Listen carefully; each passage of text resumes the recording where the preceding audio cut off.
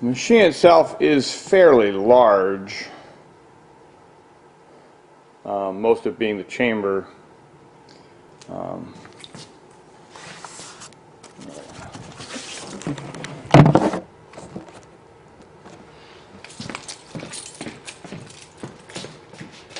you can see this is how big it stands. Comes in a road case on wheels.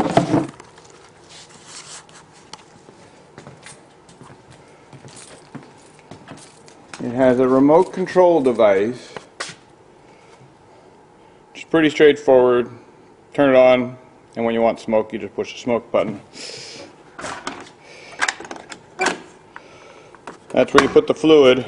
Make sure you unpressurize it. What you've got here on the back is we've got the valve on the right and a pressure gauge and a pressure valve on the bottom there and then your delay panel and your connection and your power switch and that's really about it. It's fairly straightforward fairly simple. Um, we'll do it I depressurize the uh, fluid chamber because once it's up to pressure until you start running it you wouldn't get variability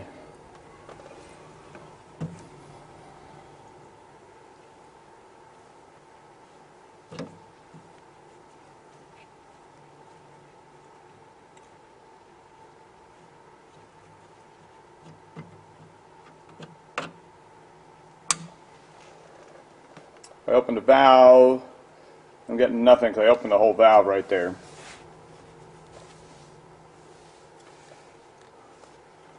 So I pressurize it slightly.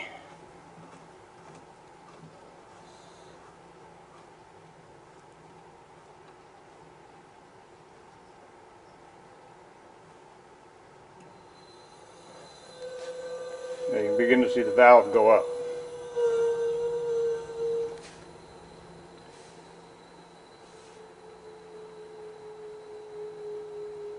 And that pressure gauge is reading from 0 to 60 psi but you can actually peg the meter.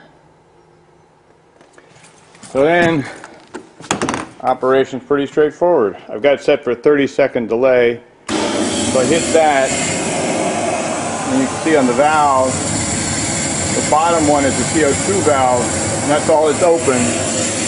So all I'm getting out right now straight liquid CO2. Doesn't go very far away, it dissipates pretty quickly.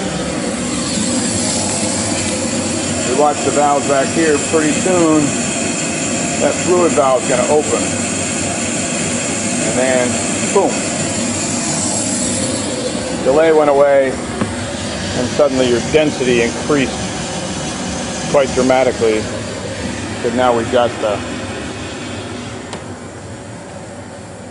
low fog happening all across the stage now.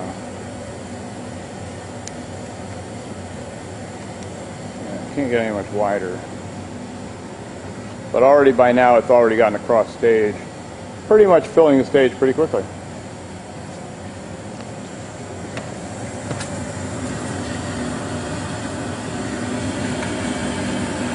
Now the other thing to know about this is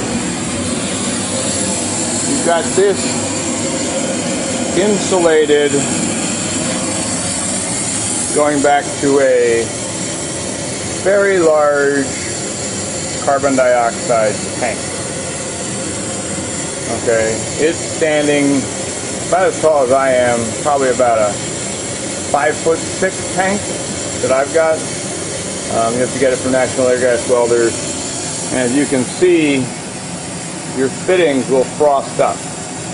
So you're getting a lot of liquid CO2. If you're not getting liquid CO2, it will not work. I found that out. They first developed, delivered me a tank with hardly anything in it and barely got anything out of it. There you go.